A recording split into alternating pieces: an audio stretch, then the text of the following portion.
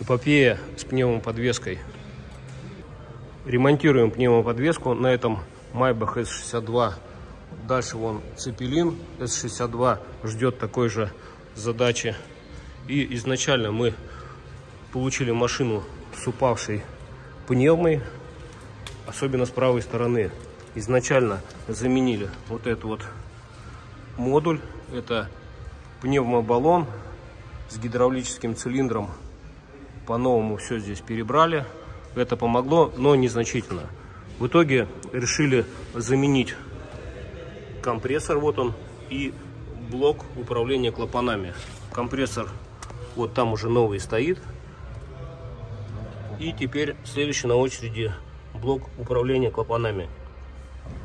Поставим, проверим и отчитаемся. Заменили мы оба элемента. Это и блок клапанов и компрессор. Теперь все будет новое в этом автомобиле.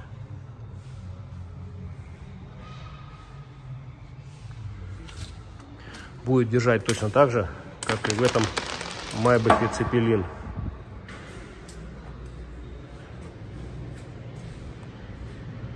Здесь, похоже, уже ремонтировали. Мы все продиагностировали. Все здесь идеально. Ну и в том автомобиле тоже будет все на высшем уровне.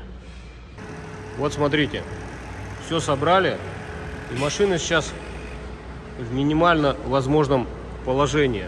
Она раньше, когда к нам приехала, никогда так высоко не стояла. Вот, посмотрите. Перед и зад тоже.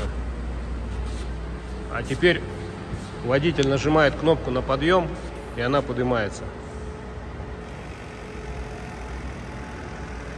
Сперва набивается задняя часть, а потом поднимется и передняя.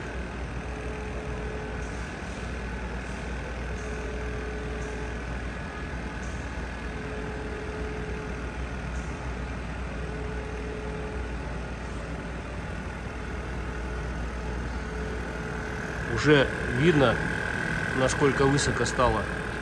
Но будет еще выше. Посмотрите, насколько значительно, существенно поднялась задняя часть.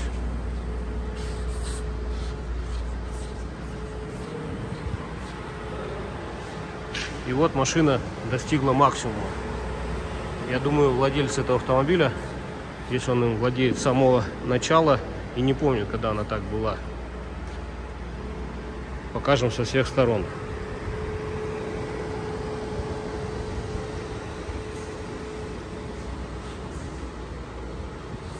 Все четыре колеса в идеальном положении. Задний, соответственно, чуть выше.